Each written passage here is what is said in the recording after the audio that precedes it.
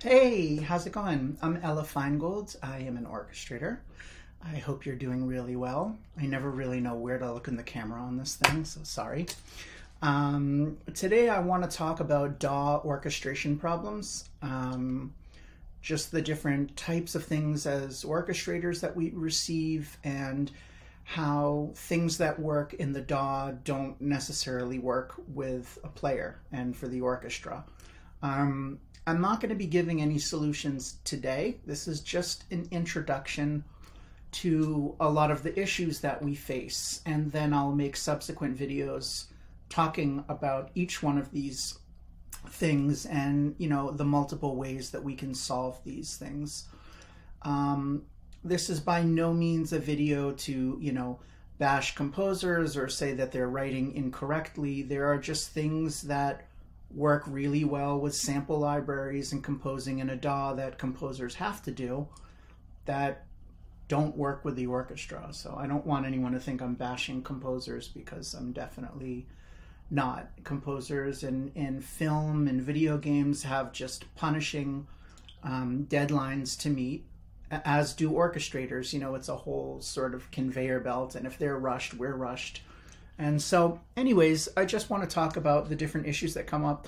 If you have any topics you'd like me to discuss that you think I um, missed, please write in the comments below. Um, I'd love, excuse me, I'd love to hear what you have to say. So this might be painfully obvious, but you know, composer in today's age is typically writing in a DAW, a digital audio workstation like Logic, Cubase, Digital Performer. They're using sample libraries. They have crazy deadlines to meet where they have to write tons of music quickly and effectively. They're likely using pre-made templates where they might have, you know, all of their favorite synths and um, orchestral sample libraries, and these things are all routed out um, to stems and whatnot. Um, maybe Cubase is routed to Pro Tools or whatnot. So typically it's sort of a well-oiled um, machine.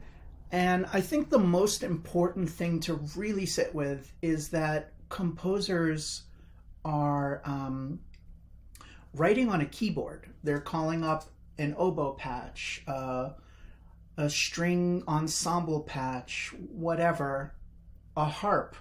Um, and they're playing it on a keyboard and they're playing it with 10 fingers. Um, and I think that that's important because there are things that we do on a piano that we wouldn't do um, with the instruments of the orchestra. So being mindful of those things. One example, like maybe a composer's not being mindful and they're playing with 10 fingers, but harpists only use four fingers on each hand. So you may encounter things that are just impossible to play, and so you're having to cross hands. So I'm just bringing that up to say that it's almost like you have to look at orchestration today as piano transcription almost because even though they may be playing a brass patch, it's being played on a keyboard and being played pianistically. So something to be mindful of. So a lot of these issues, which I'd like to go through right now, um, you know, these are sort of, these are the most important things. These are the things you have to get right and you have to address because um, as one of my mentors says, you know, never turn a compositional problem into a performance problem. And a lot of these things may be seen as um, like plumbing or electrical or fixing the foundation rather than wanting to be a painter and applying beautiful brush strokes of color with the orchestra. But these are the things that will, you know, um, ruin a performance or not balance well if we don't take care of a lot of these issues. So these are in no particular order, but I'd just like to talk about some of the things I see a lot. Um, and again, we'll talk about these things in detail in future videos. So breathing problems. Um, maybe the composer is just holding down middle C on a horn patch and the sample loops and it's just going forever in the winds or the brass. So we have, you know, um, to solve that problem because people need to breathe. Um, so, uh, and the solutions are different within each choir. Um, what to leave in MIDI. Um, sometimes we get stuff where we've got aleatory in the strings and a string melody and a string ostinato, and we have all these ideas. And sometimes, depending on budget and recording schedule, we have to leave certain things in MIDI. Um, and we need to talk to the composer and say, hey, I think we should leave this in, in MIDI. I don't think it's going to, I don't think this extended technique is going to record well or be a good, you know, use of our recording time. So we'll talk about that in a future video. Leaps in the writing. Um, and then I wrote, can be troublesome for strings with string crossing. So this is just talking about um, just lots of leaps from a tenth or whatever, and certain things that's a little more idiomatic, like if you saw my video on the bassoon the other day, you know, a lot of these leaps are no problem. It's sort of bread and butter on the instrument. But maybe you're a string player and you're, you know, having to cross from your G to your um, your A string or something, and it might be an awkward leap. So how do we solve those things? Um, what do we do? Um, voice count in- inconsistency problems where you know composers just playing ensemble patches and they might go from a three note chord in an ostinato motor to all of a sudden five and then back to three and then it goes into unison and just talking about all the different ways of how we handle those problems you know with divisi and the strings or with woodwinds and brass are we bringing in extra players just for those notes that happen or are we counting up all the notes and going all right we've got a maximum of five notes. So we're going to have five people playing the whole time. Um, sometimes that works depending on the dynamic, and sometimes that just turns everything gray. Um, so some more issues, too many notes and not enough players. This is more common. um, also, sort of, it gets into like having too many ideas. Um, so you know, you as an orchestrator have to figure out um, what notes to leave out. Are some notes just uh, doubling an octave that can be left out that are maybe in synths or maybe they're in another choir that don't need to be there? So that's something that we are faced with. Um, this is a very interesting one, this next one, and a lot of people probably can't imagine that this is real, but this is something I encounter a lot, which is too many players and not enough notes where you might have like a 14 piece woodwind section and there's one idea. And you know it's fortissimo or something and how do you you know solve that? And so having the whole herd on it you know can sound gray because you've got all kinds of unison doubling and so we have to find solutions to deal with that um, you know, does this involve complex dovetailing? Does this involve leaving out, say, the double reeds or leaving out certain colors within a choir? Um, and there's a lot of different ways to deal with this issue. Um, when it's quiet, there's a solution um, that's very effective, and when it's loud, there's another solution. Um, so, um, yeah, I wrote too many ideas in one choir. Um, certain choirs lend themselves better to having a lot of ideas. Like for me, I tend to think of the woodwinds uh, as a choir that can just help everyone out. You know, we can have some high people up with the strings and some low people pecking and maybe a couple of bassoons helping with horns or filling in harmony. And I sort of look to my woodwinds as as helpers a lot of times but I see in strings a lot where there's a melody, there's an ostinato in the middle, there's held harmony, and there's just too many ideas. And there are a lot of different ways to solve that problems, um, solve those problems with overdubs and um, a lot of different things. Um, sustain pedal on. So, believe it or not, sometimes it's a mistake and a composer has the sustain pedal down and they don't know it. But more than uh, more often, what it just means is that they may be pay, playing a um, patch in brass, winds, or strings, and the pedals down, and so you have to recreate that um, in the orchestra. And again, different choirs will lend themselves to different or ways of orchestrating that. In other words, um, if notes are starting to pile up with the sustain pedal on, is everybody coming on each note and going to another note? Or, you know, are we keeping people out and adding people as each note gets added on? So I'll talk about ways to solve that problem. Um, lack of articulations. Um, this happens a lot, believe it or not, where um, a composer might be using, like, say, a sustain patch in a French horn. Okay. Well, you could typically assume that a sustain patch could be just they want legato and things are going to be slurred.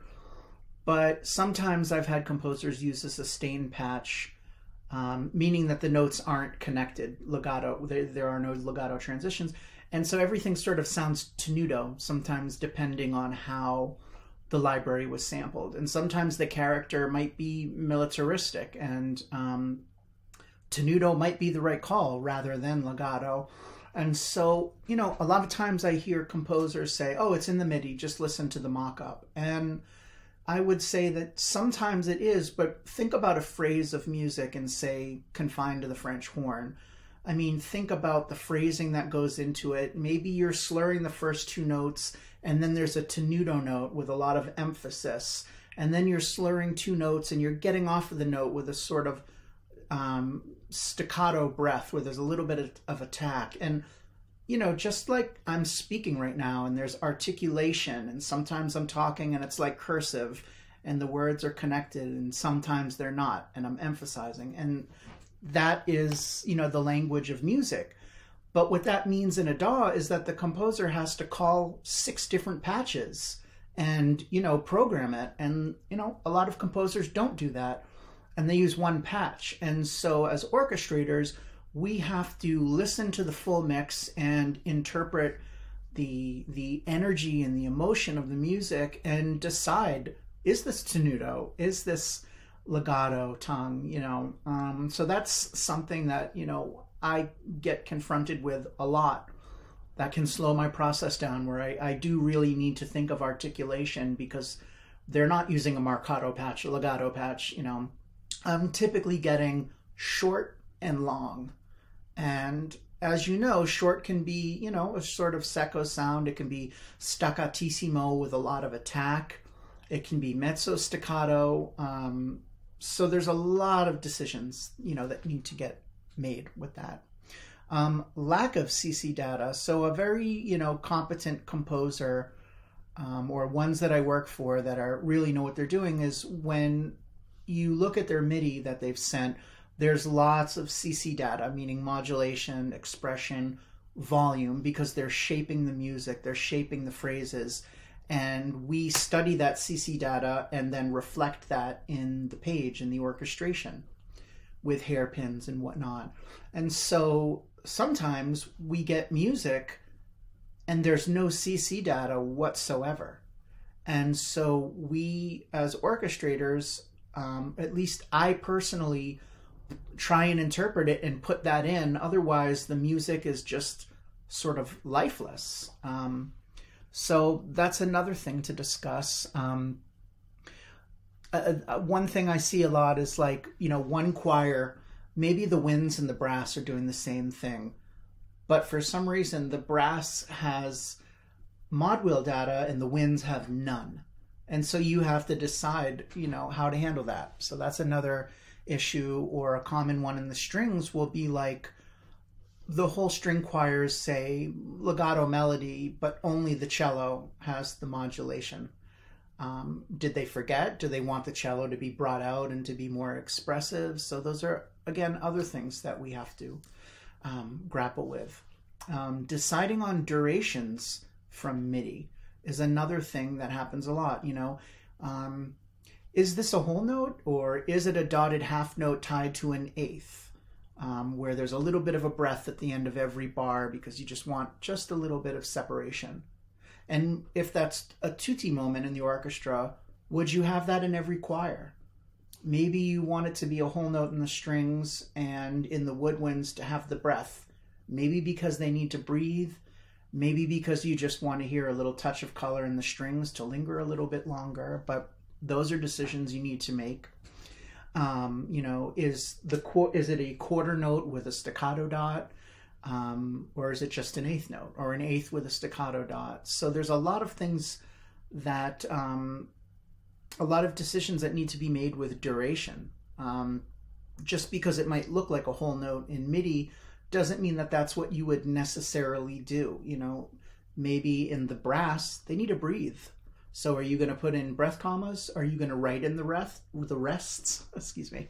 Um, so that's another issue. Um, one of my one of my favorites, or not so favorite, is the tutti ensemble patch with the winds, where everything just sounds like a pipe organ. And basically, what it is is, you know, um, Spitfire Albion 1 is like one of the leading culprits, where you push down a note and basically they've piled everyone onto that note who can possibly play that. Um, note. And so what you get is constantly a mix of everyone on the note. And as you start to play harmony, um, things just sound gray and colorless. Um, and so you have to think as an orchestrator, what what does the composer want? Do they do they want a big gray pipe organ mass? Are they looking for me to, you know, sort of prune this down like a you know, like a bonsai tree and, and like a Japanese gardener? And am I kind of separating colors out? Um, you know, so that's another thing that happens a lot. We get it with string ensemble patches, brass ensemble patches. Um, so the next thing is general dynamics. Um, a lot, a lot of times, you know, everything can sound mezzo forte, and that's one issue. And dynamics sort of lie. Like the music may appear to be pianissimo and you're hearing a horn patch and it's like molto cuivre. Well, you're not getting molto cuivre at pianissimo. So you have to decide, you know, does the composer mean a sort of echo horn hand stopped? Um, you know, how, how do I reflect that color? Um, so there's a lot of things with dynamics where something might sound mezzo forte or forte, but it's in a pianissimo texture, and vice versa. I've gotten stuff where it's like apparently like um, fortissimo, but you hear like an alto flute on middle C, and it's like breathy, and and so you have so many decisions to make on conflicting sort of dynamics. Um, and another common problem is getting something that might be like, you know, a six minute piece of music and everything is at fortissimo and everyone's blowing their brains out. And what does that mean? You know, are you going to have five or six minutes of tutti where the ear is going to fatigue of the woodwinds and the brass and, you know, their chops? You know, like um, my friend Brett was saying the other day, string players, you know, you're using big muscles. And so they can play longer. But brass players and winds, you know, you're using a muscle here that fatigues easily. So, you know, there's ways of how do we solve that problem? Um, and is that actually what the composer wants? I mean, should this slowly build from a, you know, a mild mezzo forte up to a fortissimo? So that's another issue that we face. Um, Another one I get a lot is low brass pedals, and they don't speak down there. And a lot of composers don't realize that. A lot of composers kind of think that the lower the note is, the more power is there. And maybe in certain instruments, um, but using some of these pedals, pedal notes sometimes in the trombones and whatnot, it takes a while to speak down there, and it sound it can just sound like you know like an idle engine or something. They don't they don't speak, and a lot of times you get more power when it's up the octave. Um, a lot of these sample libraries, what they'll do is they'll sample a particular note, and you know where it's low enough and where it, it really barks, and then they'll just you know pitch it, stretch it down, you know eight semitones, and so. As Conrad Pope says, you know, MIDI is can be Satan or MIDI is Satan and so composers begin to believe that those notes, you know, articulate like that and speak like that in that range where it doesn't, you know, it absolutely doesn't. And Um, this is probably one of the most common things, you know. I mean, that's what God made the contrabassoon for, some of these notes. Um, yeah, I mean, some of these notes on the tuba and pedals with the trombone, like they just, there's no power, there's no urgency. Um, and a lot of that stuff's better off just in synths and whatnot. But I'll talk about ways to um, how you handle those things. Uh, another thing sometimes can be low, muddy thirds in the bass clef that might sound good on a particular patch that they're using. Um, and you have to determine, you know, do I need to revoice this and invert it? Or is this a really, you know, jarring, tense moment and I really do need to make it ugly? Um, something I didn't write, but I do want to talk about is sometimes with music that's right on the border of, you know, where it's clusters and you have to decide am I going to get all of these pitches that the composer wrote and give them exactly what they wrote where it, you know, or does it not does the pitch not really matter and they just need something really chaotic? And am I going to note notate that in an aleatoric fashion or am I going to be incredibly literal and write out all 12 pitches or whatnot? So that's another thing orchestrators face. Um, another category is ethnic instruments, you know, duduk, um, shakuhachi, ocarina, um, a lot of esoteric ethnic instruments um, happens a lot in film and video game music, and you have to, you know, figure out are these going to be covered by players live with the orchestra, and if they are, well, are they going to get obliterated? Like recorders are going to get obliterated by the orchestra. So do we need to stripe them? is this particular instrument that they called for, even though it's in a sample library and they're playing whatever notes they want, is it a chromatic instrument or is it just available, you know, in one key? Um, you know, so you have to decide: are we keeping this in MIDI? Are we striping this? You know, so that's another um, issue that we face. So that's sort of the end of the video. Um, and you know, again, I'm not trying to bash composers because I've mocked up stuff and as an orchestrator, there's things that I know work in the orchestra, but when you do it with um, sample libraries, it doesn't necessarily sound great. Sometimes you just need mass where it's, yeah, the ensemble patch, and then you copy it onto another ensemble patch, and then you split it out, and you're layering choirs um, and samples because you just need power or mass. And sometimes the subtlety and the refinements that work in the orchestra don't in the DAW. Um, because they're not, you know, um, playing in the same room with the overtones and everyone bleeding. And so that's a whole nother thing going from the orchestra to mocking up a DAW, um, mocking up in the DAW, excuse me. So, um, yeah, I think that, you know, we covered a lot in a short ish period of time. And so, yeah, if there's anything you think I'm missing, I'd really love to hear from you. Um, and stay tuned for a lot of videos with examples of how to solve some of these things. So, thanks again for tuning in. Stay weird, be kind. Don't forget to love yourself and each other. And I'll catch you on the next one. Okay.